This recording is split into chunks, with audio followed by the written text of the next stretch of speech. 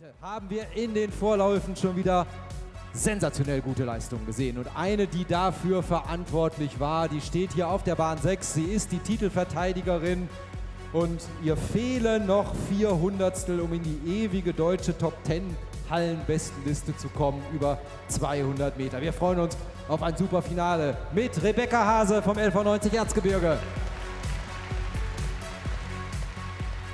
Und mit dabei auf der Bahn 5, sechste der deutschen Hallenmeisterschaften des vergangenen Jahres von der TSG Gießen-Wiesek, Lara Mattheis. Wir haben auf der Bahn 4 die Olympiateilnehmerin, deutsche Vizemeisterin von 2014 von der MTG Mannheim, Nadine Gonska.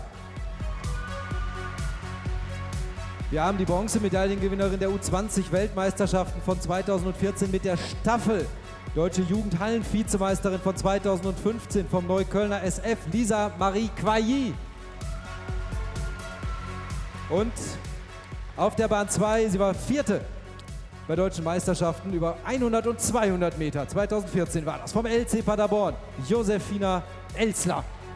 Das ist das Finale 200 Meter der Frauen.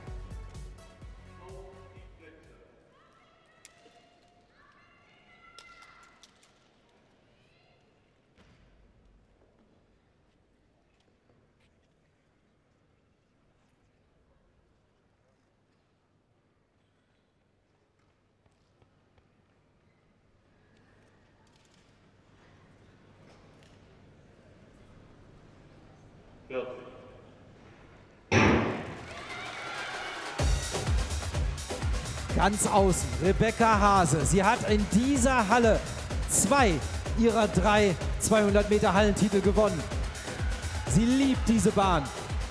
Und jetzt kommt sie aus der langen Kurve auf die Zielgerade und sie ist vorne. Rebecca Hase ist vorne und sie macht es hier in 22,77.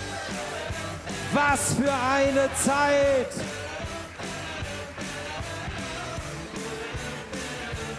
Platz 6 in der ewigen deutschen Hallenbestenliste für Rebecca Hase.